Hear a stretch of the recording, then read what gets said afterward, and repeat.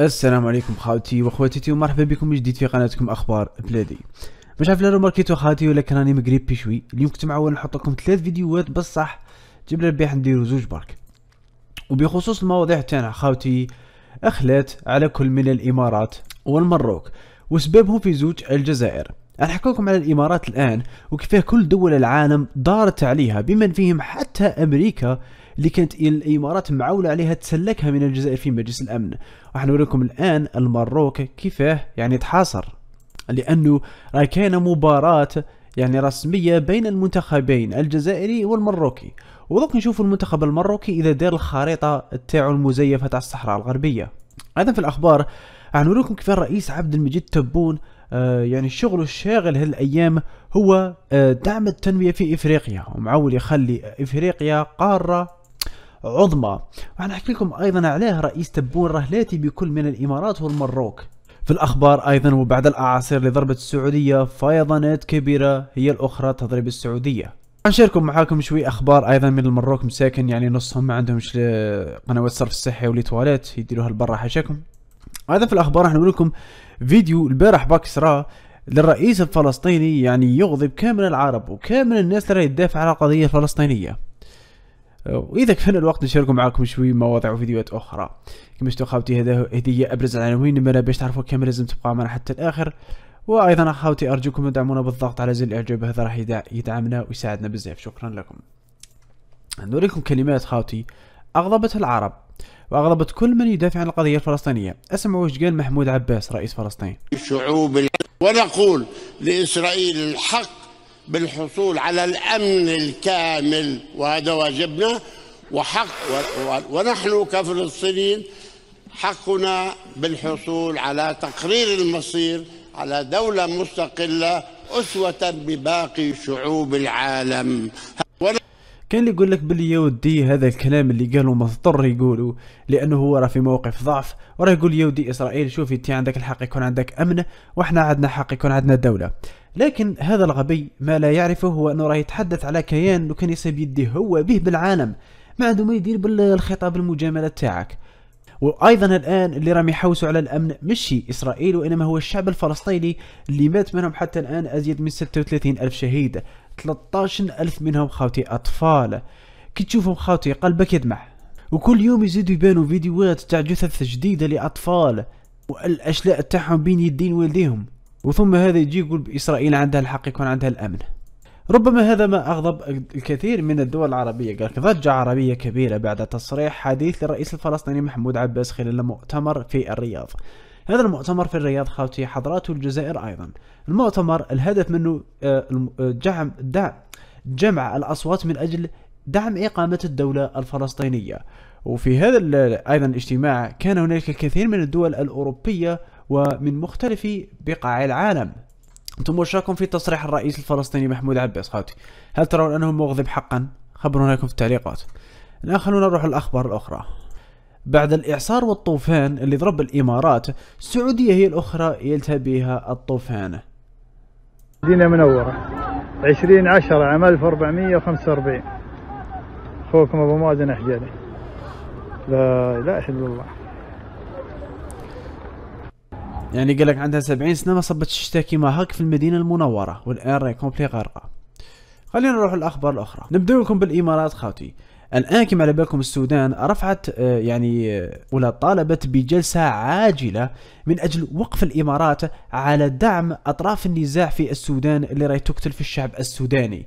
بالتحديد آه، وقف الدعم لقوات الدعم السريع. الجزائر أيضا كانت طالبت بتوقف هذا الأمر. وراح نفاجئكم خاوتي هذه اللي ظلت ترفد يديها في الفيتو اللي تدعم إسرائيل حتى هي وجد ضد الإمارات.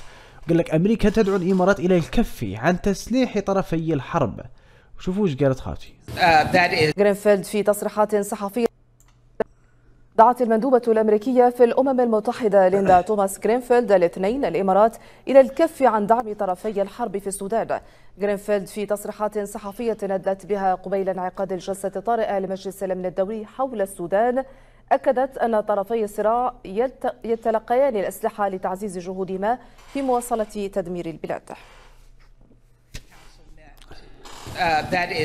لو كان غير جت التصريحات الأمريكية يعني كما هكا بخصوص القضية الفلسطينية الإسرائيلية.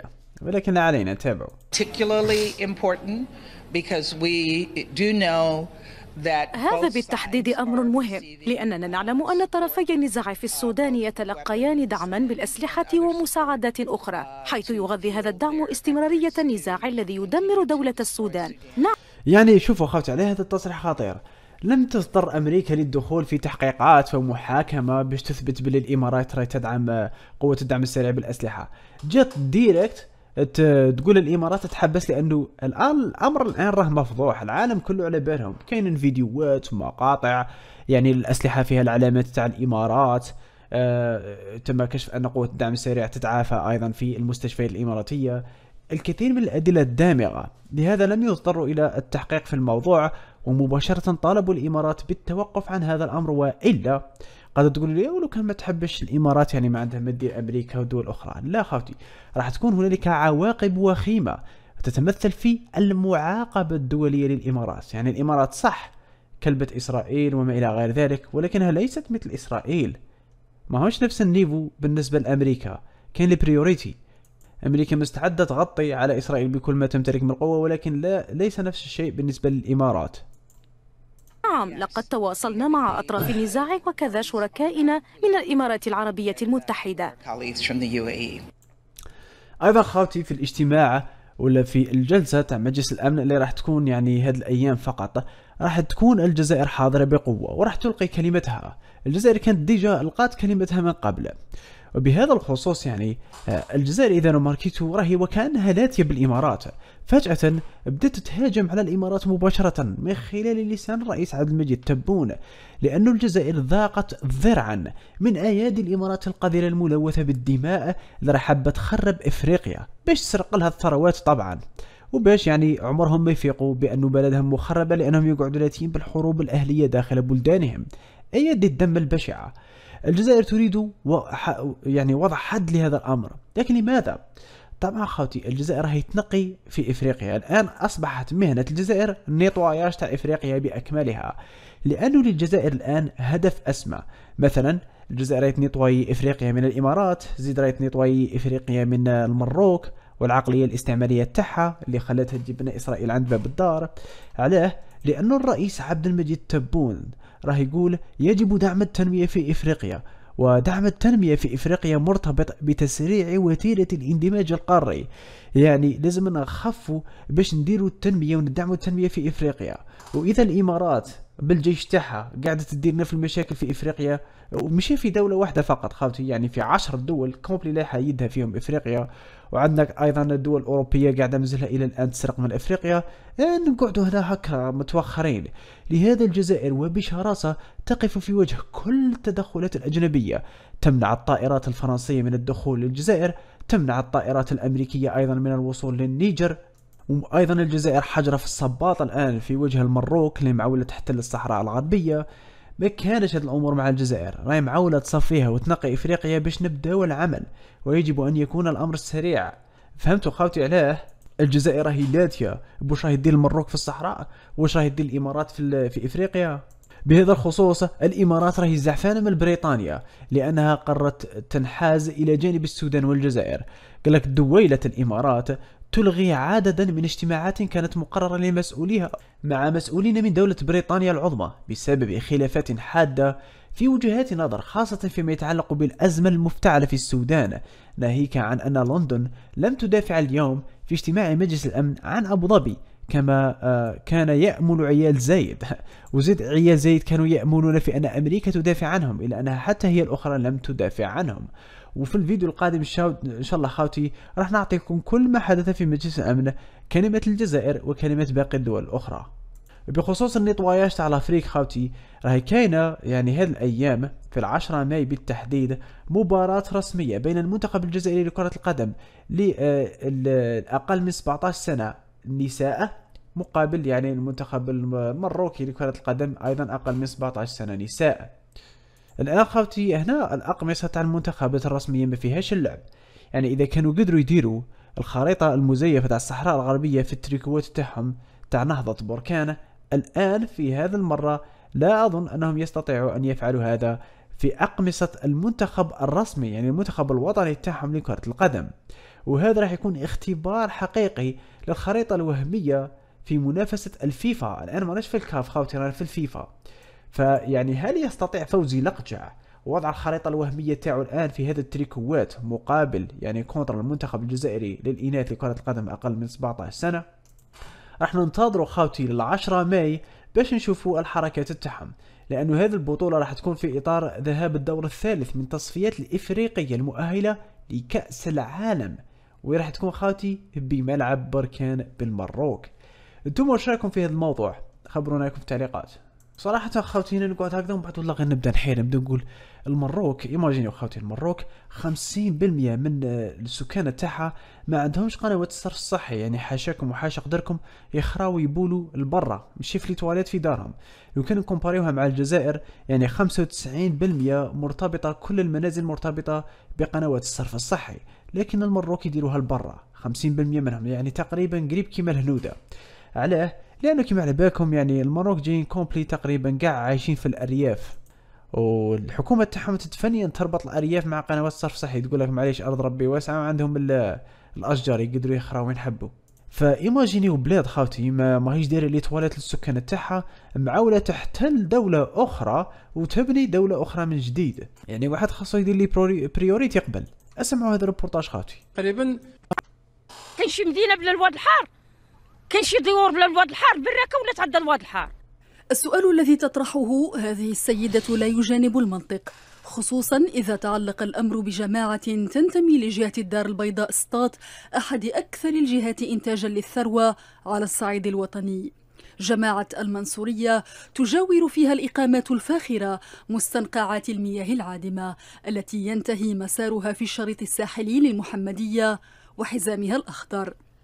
عدة مشاكل كاينة في جامعة المنصورية بما يخص المياه العادمة. غادي نطرق لها في ثلاث نقاط. المشكل الأول اللي شفناه أن أقدم تجمع سكني وأقدم تجزئة سكنية. وهذه يعني بلاصة واحدة من المروك من, من بزاف بلايص.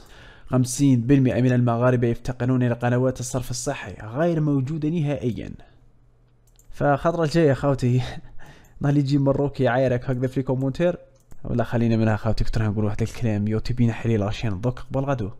كاين مواقع أخرى يعني بزاف تقول باللي آه في الحقيقة تطورت المروك. الآن ولات آه، قنوات الصرف الصحي وصلت التغطية ل 77% من حاجية السكان في المملكة. لك يا ودي في 2015 كانت واصلة نسبة التغطية تاع الصرف الصحي 66% من السكان في المروك. ففي رأيكم خاوتي توما ما هي العدد الصحيح لنسبة تغطية لي في المروك؟ خبرونا لكم في التعليقات. وبخصوص الدبزة بيننا وبين المروك خاوتي حبيت نوريكم واحد زعما جاي يدبز مع الجزائر تعشى يدبز مع مرته في الوسط. هذا مروكي. تنسبوكم ما تنعايروكم ما تندخلوش عندكم الله. عليكم قراعي ولد عايشه راه ما تقدوش علينا سكسي فاقعين ولابسين. شوفوا هذه خاوتي هذه. حوج بكحوله شعرها أصفر. فقيرين وعايشين دوين ودوين فقيرين ومبطحين عليكم. بردت الوالدين. شوفوا أخوتي. شوفوا الله يرحم لكم الوالدين. لا لا يرحمهم. اللي بغى يعايرني يجي عندي للقريعة. آه مباشرة. ويعايرني ولا غير منا. سمعتوني؟ دايرين الطوموبيلات درنا الديور. اللي بغى ولد عيشه دخل عند قال لكم اللي بغى يعايرني يجي عندي للدار ويعايرني. داير قد الحيط الله يبارك. هذا خوتي أنا خفت منه صراحة. شي واحد في ال live. وعايركم. عمر شي ولد عايشه كتب لشي واحد؟ وعايركم. واش ولد عايشه عمرو سب شي واحد؟ ضرونا ما تضروش عاجبيني التعليقات الإضافية من هذه يعني مركز غير معايا. ولد عايشه عمرو سب شي واحد. ضرونا ما واش ولد عايشه عمرو شد كارو والله ما نضروا لكم واش عمر ولد وعايشه خمس سنين وما عمرو شد عليكم بحال غادي يدافع كروسي آه ويبوعر ويجيب بعرك سيفو فينا الفضاء يوريك الفضاء دابا والله تمشي وما تنوضيش في بلاصتك كيف ما فهمتوا خالتي خبروا رأيكم في التعليقات. كما راكم تشوفوا رانا وصلنا لنهاية الفيديو. للأسف خاوتي راني مريض كان درت لكم فيديو طويل. بصح هذا واش قدرت ندير؟ وإذا عجبكم أرجوكم تضغطوا لنا على اللايك واشتركوا لنا في القناة وفعلوا الجرس. الأمور هذه كلها تدعمنا كما على بالكم. شكرا خاوتي على المشاهدة وإلى اللقاء.